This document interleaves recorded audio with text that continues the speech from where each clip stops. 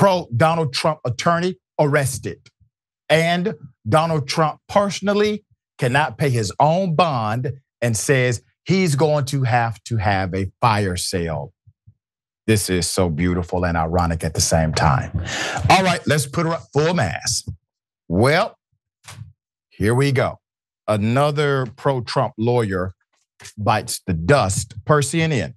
Stefanie Lambert, a pro Trump lawyer who tried to overturn the 2020 election, was arrested on Monday after a court hearing about her recent leak of internal emails belonging to Dominion voting systems. They are back in the news again. CNN reports that there was an existing arrest warrant for attorney Lambert stemming from her failure to appear. How does an attorney get an FTA? But she has one. At a recent court hearing where there's a separate criminal case in Michigan, she was charged there with conspiring to seize voting machines after the 2020 election. So she has a few things going on, all courtesy of her efforts to serve the dictator Donald Trump. Lambert and a cadre of election deniers have disrupted one of Dominion's many ongoing defamation lawsuits by publicly leaking thousands of the company's internal emails in recent days using the disclosures to resurrect false claims about voter fraud. Who is getting the information? Put them up. That is not Colonel Sanders' nephew. That is an actual elected sheriff. CNN reports the controversy erupted when Attorney Lambert provided the confidential Dominion documents to Barry County Sheriff Dar Leaf. That's his name. His name is Dar Leaf. D A R first name, Leaf last name. Who has embraced conspiracy theories about the 2020 election and has used his own office to investigate supposed voter fraud against Donald Trump.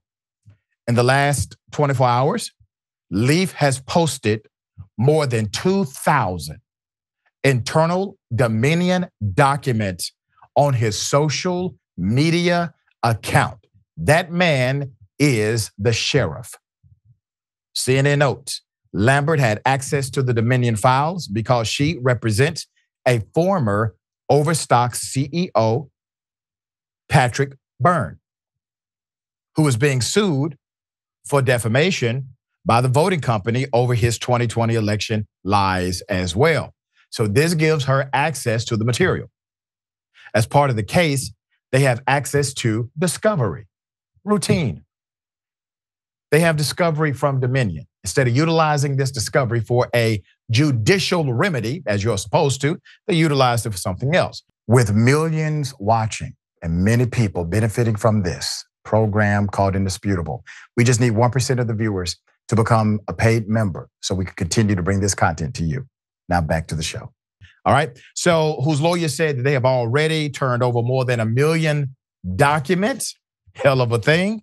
Well, this is going to be interesting. All right. Lambert attended a hearing on Monday in Byrne's defamation case in DC, but was never seen leaving the courtroom.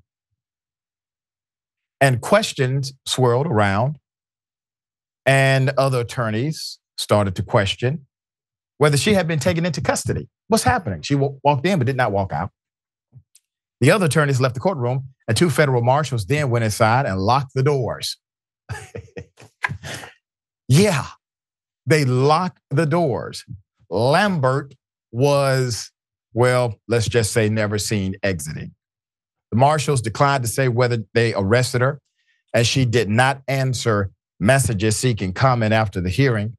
The U.S. Marshals Service confirmed in a statement late Monday that Lambert was, in fact, arrested. Quote, the U.S. Marshals Service can confirm the arrest of Stefanie Lambert earlier this afternoon. Lambert is currently being held on local charges, the statement said. referring to her Michigan based criminal case where she had an active warrant for failing to appear in court. FTA. There's more. The Dominion leaks have, at least for now, diverted attention away from the alleged 2020 election related defamation. So, in a way, they are getting what they are attempting to get, which is a distraction. More hearings will be needed to deal with the matter and for the judge to consider, uh, consider potential consequences for the attorney Lambert. Dominion's lawyers also said in the filings that company employees have already are already receiving new death threats in the wake of the disclosures. Once again, that was their aim. The messages posted online by the sheriff contain names, email addresses, cell phone numbers, and office addresses of actual Dominion employees. Once again, their exacting aim. During the at times testy hearing on Monday, Magistrate Judge Upadhyaya peppered Lambert with sharp questions about the disputed Dominion materials. The judge ordered that Attorney Lambert be restricted from accessing the database containing the Dominion documents. Quote, I will deal with the why later. But for now, I need to preserve the status quo. The judge said, adding, quote, we need to prevent any future dissemination. What is the judge attempting to do? The judge is attempting to save people lives because all of their personal information has been intentionally shared outside of judicial restriction. And so naturally, you move in a way to protect the public at large. It is a public policy ruling. I agree with the judge in this ruling. The judge said there would be a future hearing to determine whether Attorney Lambert violated a court order by leaking the Dominion files and that Byrne would need to appear and answer questions. Dominion wants Attorney Lambert completely removed from the case and suggested in court Monday that she might have committed a crime by disseminating the files to Sheriff Leaf. Attorney Lambert, Leaf, and Byrne have claimed in court filings and public statements that the documents they disclosed contained evidence that Serbian nationals, what, wait a minute, how did the Serbs get involved? But all of a sudden, they have a new theory. Serbian nationals meddled in the 2020 election at Dominion's request, okay? As has been public for years. This is a quote from Dominion. Dominion has a small staff presence in Serbia. But any allegation that Dominion employees anywhere try to interfere with any election is flatly false. A Dominion spokesperson told CNN after the hearing. So, what are they attempting to do? They are attempting to benefit from the extreme racism of Trumpites. Serbians? Yeah, yeah, yeah, yeah. We don't like them either. So if we can make a Serbian connection and Dominion had Serbian employees, well, naturally, they're the ones who meddled in the 2020 election. Election fraud. Um, motive, number one, is lacking. Number two, well, the handful of employees that they are trying to out are well known employees made public through the Fox Dominion case. Nothing new there. But for those who don't pay attention and literally will listen to what any to what Donald Trump says at any time, this becomes a credible, well, proclamation. Donald Trump, however, he's losing it. You know all the trouble he got himself into? Well, now he doesn't have the money to get himself out of it. Here it is. Lawyers for Mr. Trump today told a New York appellate court that he can't find a company to help him with a nearly half billion dollar bond while he appeals the New York civil fraud case involving his business. According to the filing, more than two dozen companies, including Chubb, have decided on that bond they cannot do it and they will not do it. that leaves Trump in a very vulnerable position for somebody who, who brags about his personal wealth as much as he does, who's key to his, uh, his, his political appeal is that he can't be bought because he has so much money than everybody else. In this case, what he has more than anybody else is a need for money quickly and desperately.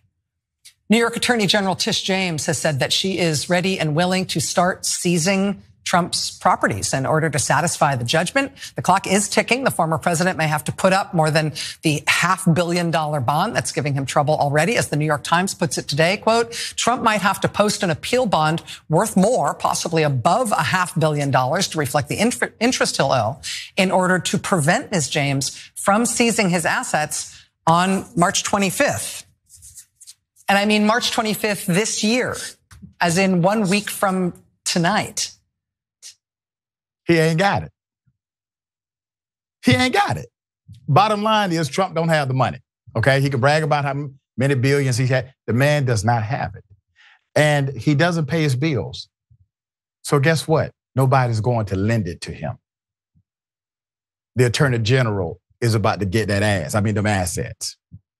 All right, Sharon, hell of a thing here. The man literally is tweeting nonstop how this is wrong and how much money they're asking. He did this to himself, mm-hmm. point by point, moment by moment. Yeah. After being gifted due to his privilege, lies, and fraud, um, credit that he didn't deserve. Okay. Right. That's, That's right. what it was all about. As that was announced, Doc, by Rachel Maddow and others, millions of Americans, including myself, screamed Trump he's just like us. He's not liquid, okay? He's just like us, yeah. most of us. That's right. Um, so, you know, it's amazing to me how somebody can be proclaimed as so genius in business, but make very bad business decisions all the time.